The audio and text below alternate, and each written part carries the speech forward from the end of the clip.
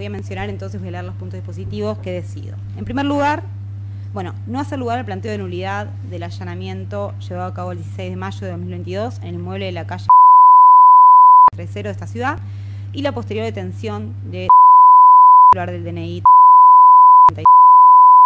efectuado por la defensa. 2. Condenar a el DNI número 45 cuyas demás condiciones personales obran en la causa, como autor del hecho ocurrido el 16 de mayo del 2022, constitutivo del delito de ocasionar actos de crueldad animal a la pena de 8 meses de prisión en suspenso sin costas y sujetar la condicionalidad de la sanción por el plazo de dos años al cumplimiento de las siguientes pautas de conducta.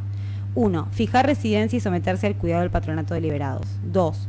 Cumplir con las citaciones que se le cursen. 3 asistir al programa Protenencia, dependiente del Ministerio de Salud, a cargo del doctor Juan Enrique Romero.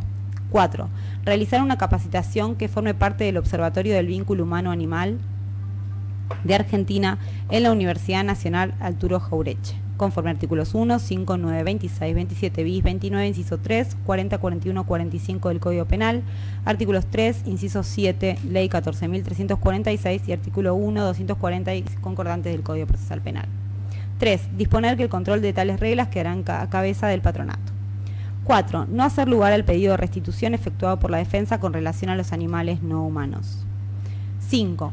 Declarar sujetos de derechos a los animales no humanos afectados al presente caso y disponer la entrega definitiva en favor del grupo familiar interespecie que se encuentre ejerciendo su cuidado al momento en que la presente adquiera firmeza, conforme al artículo 347 del Código Procesal Penal.